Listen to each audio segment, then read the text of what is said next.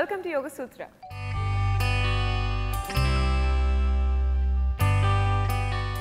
ఇవాళ యోగ సూత్రలో కృష్ణ గారు మనందరికీ ఏ ఆసనం పరిచయం చేయబోతున్నారో చూద్దాం.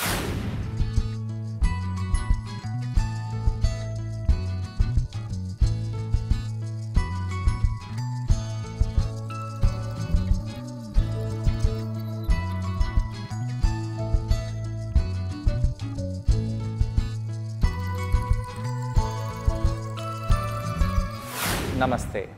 ఈరోజు యోగా సూత్రాలు చేసే ఆసనం పేరు రాజకపోతాసనము. రాజకపోతాసనానికి కపోతాసనానికి ఏమి తేడా అని అనుకోవచ్చు. ఇందులో రాజ అనే పదాన్ని చాలా ఇంపార్టెంట్.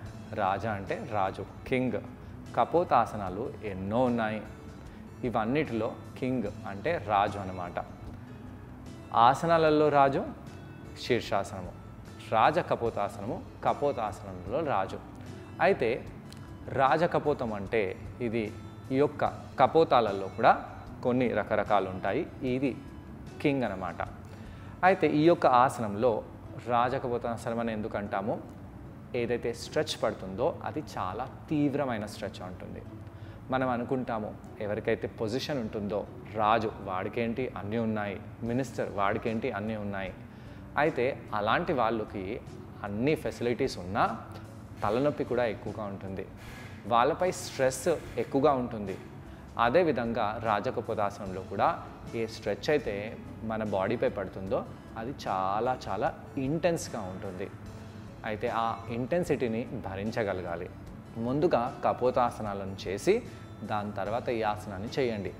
ఈ ఆసనం చేసే ముందు మనము కొద్దిగా ప్రిపరేషన్ చేయాలి. ఎలాంటి ప్రిపరేషన్? నడుములు తొడలకి ప్రిపరేషన్ చేయాలి. పాదాలని ఇలా తీసుకెళ్ళండి. ఈ విధంగా తొడలని బాగా కదిలించుదాము.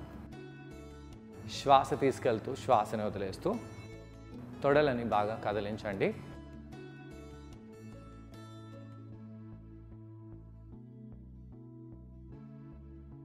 నడుములలో ఎలా అనిపిస్తుందో గమనిస్తూ ఉండాలి.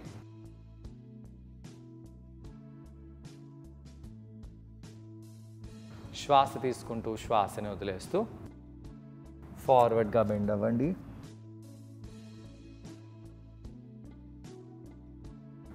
పైకి వచ్చేసి ఫార్వర్డ్గా బెండ్ అవుదాము. పైకి వచ్చేయండి. ఫార్వర్డ్గా బెండ్ అవ్వండి. పైకి వచ్చేసి మళ్ళీ ఫార్వర్డ్గా బెండ్ అవ్వాలి. తొడ నడుములో ఎలా ఉందో గమనించండి. ఇక్కడి నుంచి ఈ కుడి కాల్ని ఇలానే పెట్టేసి ఎడమ కాల్ని వెనకాలకు తీసుకెళ్ళండి. పృష్ఠ భాగంలో ఎలా ఉందో గమనించండి. నడుములలో ఎలా అనిపిస్తుందో గమనించండి. ఇక్కడ రెండు హస్తాలని పైకి చేస్తూ ఈ విధంగా కపోతాసనం చేద్దాము.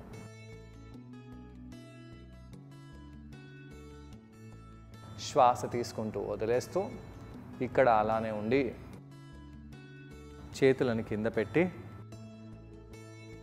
తలని కిందికి చేయండి.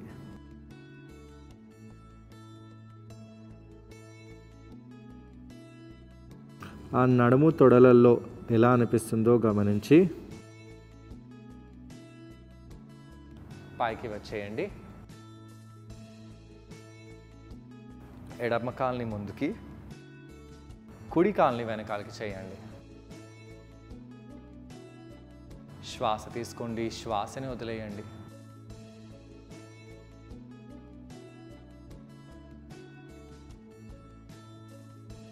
నెమ్మదిగా చేతులని పైకి తీసుకెళ్తూ ఆర్చ్ చేయండి. చేతులని కింద పెట్టేసి ఇలా ఫార్వర్డ్గా వెళ్దాము.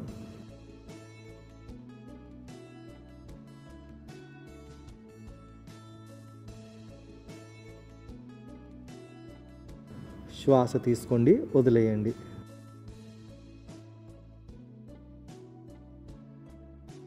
నడుములు తొడలలో ఎలా ఉందో గమనించి నెమ్మదిగా పైకి వచ్చేసేయండి. కావాలంటే ఆంజనేయాసనంలో వెళ్ళవచ్చు. ఆంజనేయాసనంలో ఈ విధంగా ఉండండి. నడుము తొడలో ఎలా అనిపిస్తుందో గమనిస్తూ.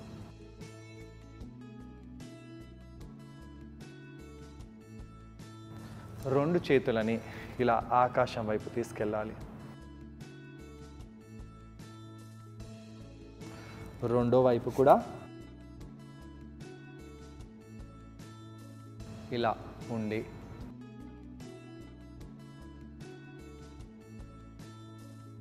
రెండు హస్తాలని పైకి చేస్తూ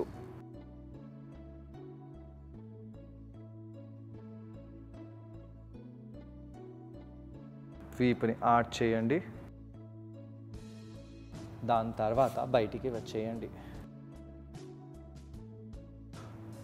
రెండు చేతులని ఒకటి రెండు చేతులని ఈ విధంగా రొటేట్ చేయండి.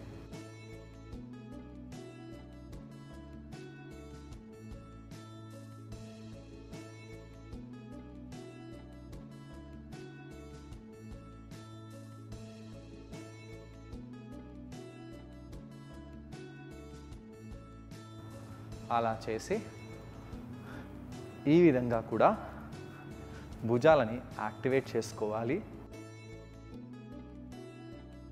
దాని తర్వాత ఇప్పుడు మనము గోడ దగ్గరికి వెళ్దాము. గోడ సహాయంతో ఈ రాజకపోతాసనం చేస్తున్నాము.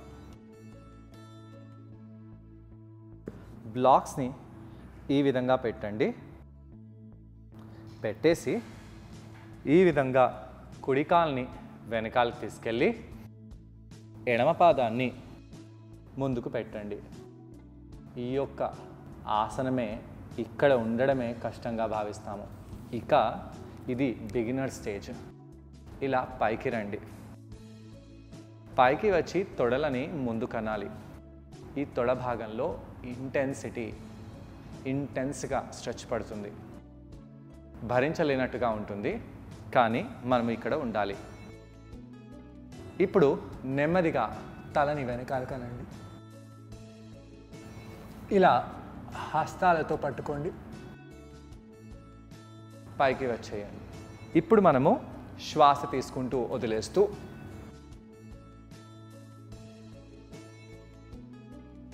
ఈ విధంగా చేతులని పైకి తీసుకెళ్ళాలి. ఆసనం నుంచి బయటికి వచ్చేయండి. ఈ స్టేజ్ కంటే కూడా ఇంకా అడ్వాన్స్ స్టేజెస్ ఉన్నాయి. ఇలా ఎడమకాల్ని వెనకాల తీసుకెళ్ళి కుడి పాదాన్ని ముందుకు తెచ్చేయండి. కుడి పాదాన్ని ఈ విధంగా ముందుకు పెట్టేసి నడుముని ముందుకు చేయాలి. శ్వాస తీసుకోండి శ్వాసని వదిలేయండి. బ్లాక్స్ని యూస్ చేస్తూ ఇలా వీపుని ఆర్ట్ చేయాలి. పృష్ఠ భాగాలని ముందుకు చేస్తూ తలని వెనకాలకి చేయండి.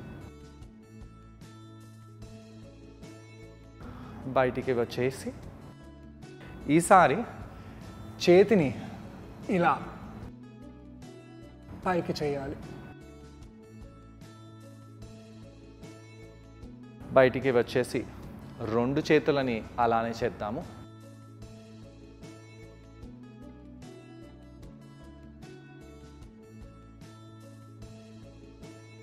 నెమ్మదిగా ఆసనం నుంచి బయటికి వచ్చేసేయండి. శ్వాస తీసుకుంటూ శ్వాసని వదిలేస్తూ కొంత సమయం పాటు తొడ కండరాలని రిలాక్స్ చేసుకోవాలి. ఫార్వర్డ్గా బెండ్ అయిపోయి రిలాక్స్ అవ్వండి. ఆసనాన్ని ట్రై చేయడానికి కృష్ణ గారితో పాటు నేను కూడా జాయిన్ అవబోతున్నాను. మా ఇద్దరిని చూసి ఈ ఆసనాన్ని మీరు కూడా ట్రై చేయండి. నమస్తే. ఈరోజు యోగా సూత్రాలు చేసే ఆసనం పేరు రాజ కపోతాసనము కపోతాసనాలలో రాజ కపోతాసనము అంటే ఆ యొక్క కపోతాసనాలలో చాలా కష్టంగా ఉండే ఆసనం అని అనమాట రాజ అనే శబ్దము ఎందుకు పెడతామంటే కొద్దిగా ఆ ఆసనము కష్టంగా ఉంటుంది. చేసిన వాళ్ళకు ఒక మంచి రాజు లాంటి ఫీలింగ్ వస్తుంది అనమాట అంటే ఆ ఆసనము కష్టమైన ఆసనము. ఆసనంలో ఓర్పు పేషెన్స్ చాలా అవసరము. ఈ ఆసనం చేసేటప్పుడు మన శరీర కండరాలు చాలా ఇంటెన్స్గా స్ట్రెచ్ అవుతాయి. కాబట్టి ఆ యొక్క ఇంటెన్సిటీని తట్టుకోగలగాలి. ఇంటెన్సిటీని తట్టుకోగలగాలంటే ఎండ్యూరెన్స్ పవర్ ఉండాలి. అలానే మసిల్స్లో స్ట్రెంగ్త్ ఉండాలి. ఫ్లెక్సిబిలిటీ అనేది కూడా కంపల్సరీగా ఉండాలి.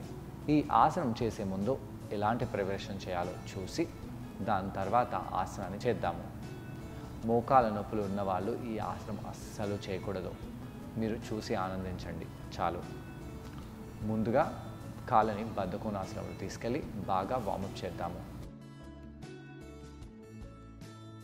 తొడలని బాగా కదిలించాలి. తొడ కండరాలని బాగా కదిలిస్తూ ఉండండి.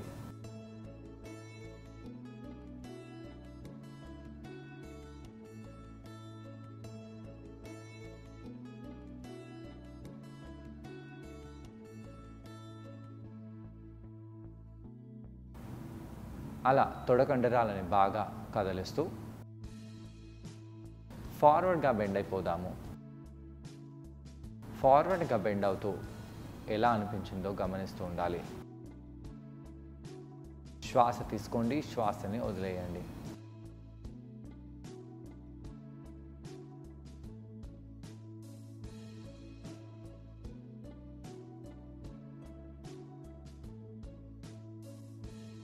కొంత సమయం పాటు ఇలా ఫార్వర్డ్గా బెండ్ అవుతూ ఛాతిని కిందికి ఇలా ప్రెస్ చేస్తూ ఉండాలి. తొడలల్లో నడుములలో ఎలా అనిపిస్తుందో గమనించి పైకి వచ్చేసేయండి. హిండోలాసనం చేద్దాము. ఇలా ఒక కాలుని పైకి లేపి కాలుని బాగా ఆడించండి. ఆడిస్తూ ఎలా అనిపిస్తుందో గమనిస్తూ ఉండాలి. శ్వాస తీసుకోండి వదిలేయండి.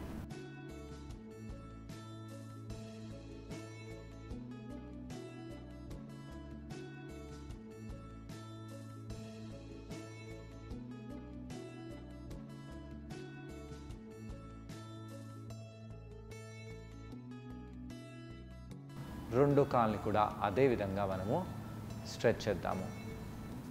ఆడించాలి.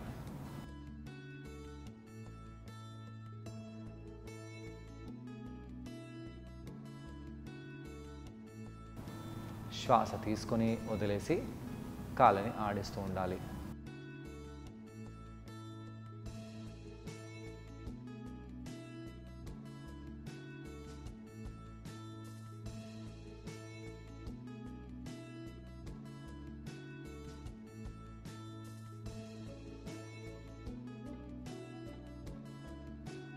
అలా చేసిన తర్వాత మనము కాల్ని కింద పెట్టేద్దాము. ఇప్పుడు మనము మోకాలపై వెళ్ళిపోయి వీపుని బాగా ఆర్ట్ చేసి రౌండ్ చేద్దాము.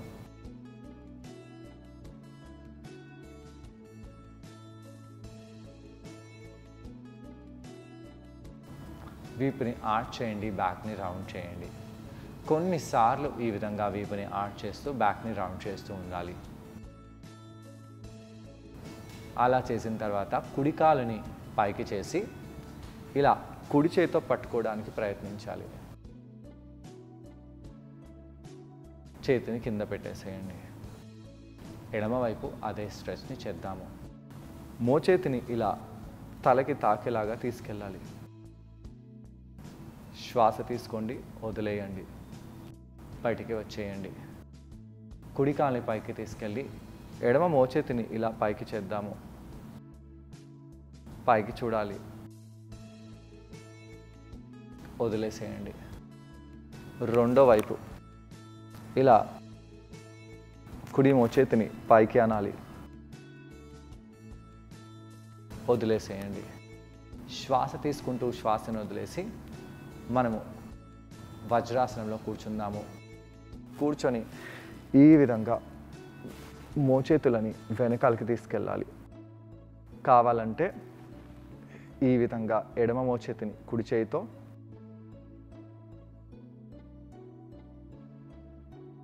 కుడి మోచేతిని ఎడమ చేయితో లాగుదాము.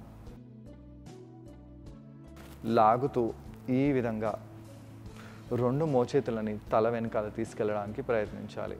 ఇలా ఛాతిని ప్రెస్ చేయండి. ఛాతిని ముందుకు చేయండి. శ్వాస తీసుకుంటూ శ్వాసని వదిలేస్తూ ఇక్కడ ఇలానే ఉండాలి.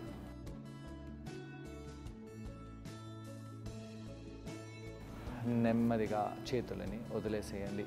ఇప్పుడు మనము వాల్ దగ్గరికి వెళ్తాము. హీల్స్ని గోడపై పెట్టేసి మౌంటైన్లో వెళ్ళాలి. పర్వతాసనంలో వెళ్ళండి. ఈ విధంగా పృష్ఠభాగాన్ని బాగా పైకి చేస్తూ కుడి పాదాన్ని బ్లాక్స్ మధ్యలో తెచ్చిపెట్టండి. ఎడమ మోకాల్ని కింద పెట్టేసి మనము ఆంజనేయ ఆసనంలో బ్యాక్ బెండ్ చేద్దాము. చేతులని పైకి చేద్దాము.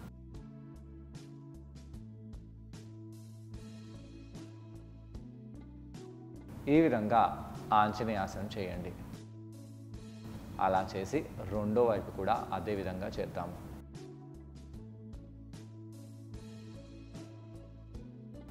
వీపుని ఆర్ట్ చేస్తూ ఉండండి. పృష్ఠభాగాలను ముందుకు చేస్తూ చేస్తూ చేస్తూ అలా హస్తాలని జాయిన్ చేసి గోడకి తాకే వరకు తీసుకెళ్ళాలి. నెమ్మదిగా ఆసనం నుంచి బయటికి వచ్చేసేయండి. ఇప్పుడు ఈ మోకాలు వెళ్ళి ఆ కాళ్ళ వేలు ఎక్కడైతే ఉన్నాయో ఆ ప్రదేశంలో మోకాల్ని పెట్టేసి ఈ యొక్క కాళ్ళ వేలని గోడకి ఆనించాలి. ఇప్పుడు ఈ విధంగా మనము వెళ్ళాలి. మోకాల్ని గోడకి తాకేస్తూ కాళ్ళ వేలని పైవైపు చేస్తూ ఉండాలి. ఇప్పుడు నెమ్మదిగా ఆర్ట్ చేయండి. ఈ విధంగా ఎడమ మోకాల్ని గోడకి తాకిస్తూ వేళ్ళని పైకి చేస్తూ కుడి పాదాన్ని ముందుకు చేయాలి. బ్లాక్స్పై చేతులని పెట్టండి. పెడుతూ నెమ్మది నెమ్మదిగా ఛాతిని ఇలా వెనకాలకి చేయాలి. వెనకాలకి చేస్తూ తల వెళ్ళి గోడకి తాకాలి. చేతులని కూడా నెమ్మదిగా గోడ వైపు తీసుకెళ్ళవచ్చు. అలా చేసి నెమ్మదిగా ఆసనం నుంచి బయటికి వచ్చేసేయండి. చూసారు కదండి ఈ ఆసనం పేరు రాజ కపోతాసనం ఈ ఆసనాన్ని మనం గోడ సహాయంతో చేసాం ఈ ఆసనం చేయడం వలన తొడలకు తొడ కండరాలకు చాలా బెనిఫిషియల్గా ఉంటుంది. వీపు భాగంలో ఉన్న కండరాలకు కూడా చాలా మేల్చేస్తుంది భుజాల కండరాలు బాగా స్ట్రెంథన్ అవుతాయి. వీటన్నిటితో పాటు ఈ ఆసనం చేస్తే ఒక రాజు లాంటి ఫీలింగ్ వచ్చి మనలో ఉన్న కాన్ఫిడెన్స్ అనేది బాగా ఇంప్రూవ్ అవుతుంది. వీలైనంతగా మన మోచేతులు గోడకి తాకేలాగా వెనకాలకి వెళ్ళాలి. అంత ఫ్లెక్సిబిలిటీ మనకు రావాలంటే నడుములు తొడలు అప్పర్ బ్యాక్ని బాగా వార్మప్ చేసుకోవాలి. ఈ ఆసనము ఒక్కరోజు రాదండి. నెమ్మది నెమ్మదిగా ప్రయత్నిస్తూ ఉంటే ఆరు నెలలు కనీసం మనకు పడుతుంది. ఈ విధంగా ఆసనం చేసిన తర్వాత నెమ్మదిగా కిందికి వచ్చి కూర్చోవాలి.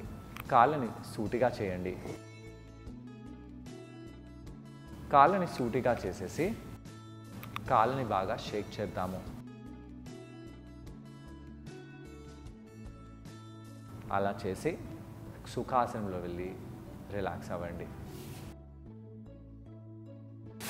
ఇలా కౌంటర్ చేయడం వలన తొడ కండరాలు బాగా రిలాక్స్డ్గా ఫీల్ అవుతాయి. మరి ఇవాళ యోగ సూత్రలో కృష్ణ గారిని మనం అడగబోయే ప్రశ్న ఏంటి అంటే ఈ ఆసనం చేసేటప్పుడు మనం అందరం ఎటువంటి జాగ్రత్తలు పాటించాలి? ఈ ప్రశ్నకు సమాధానం కృష్ణ గారిని అడిగి తెలుసుకుందాం.